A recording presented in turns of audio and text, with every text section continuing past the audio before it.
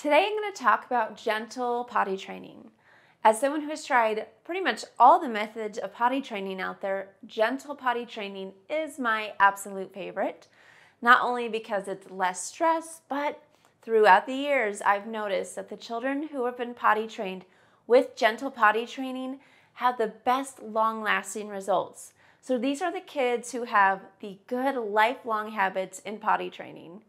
So let's learn more about gentle potty training. First of all, the goal of gentle potty training is to connect and to empower the child um, so that they can be independent and be able to use the bathroom without a ton of help from you. In fact, lots of kids are able to use the bathroom with very minimal help when it's done right.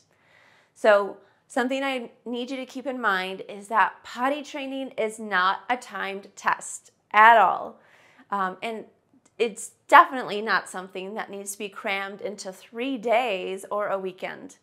Potty training is something that you can just weave into your own schedule, and um, gentle potty training makes that so effortless and seamless. Second of all, gentle potty training is a bonding experience. So, again, this isn't something that you have to overthink but it's something that you probably already do. So if you're already reading books to your child, first of all, fantastic. That's what children need. And all you have to do now is add in some great potty training books to start help your child understand the concept of going to the bathroom and why they need to go to the bathroom. Um, another fun way to bond with them through potty training is with potty training songs. Children love singing so much. And so, by reading to them and singing to them about potty training and having them join in, it just makes it so much more fun and gets them on board without the element of force. Now, we have some links below so that you can look up our favorite potty training songs and our favorite potty training books. Number three, Gentle potty training is a way to partner with your child. And I love this because it's not a matter of force. We're not going to be um, chaining a child to the bathroom and saying you have to go potty 30 times a day. Instead, this is a milestone similar to walking and talking.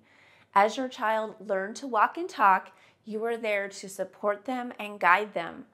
So when children are learning to talk, we converse with them back and forth every single day. And as they um, get older, as babies, then they start to babble and say their own words.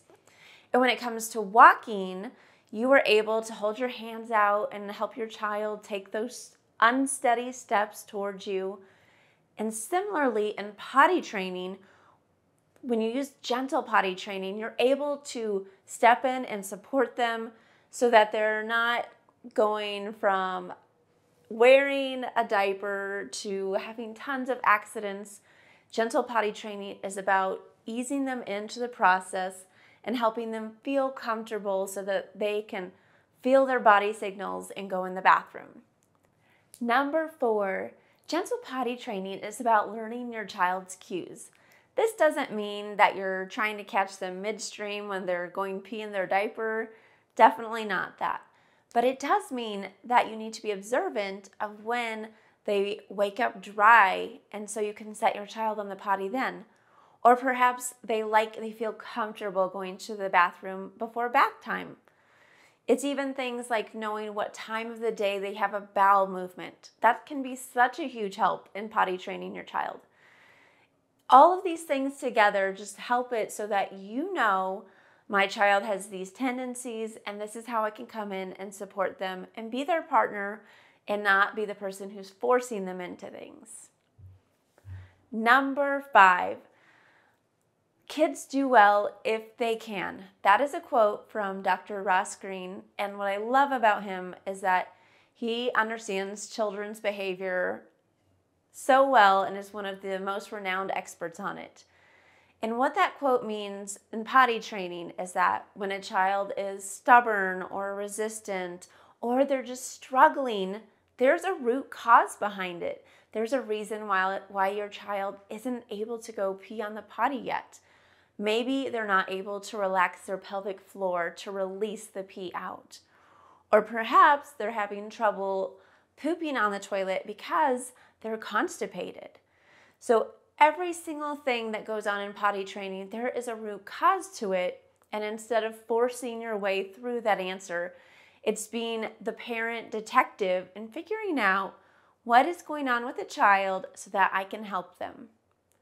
Well, I love gentle potty training so much that I created a whole course on it called Peaceful Potty Training. It has my best tips step by step to get you and your child to the point of potty training um, from diapers to underwear without all the tears. So if you're interested in that, we'll link it below at peacefulpottytraining.com.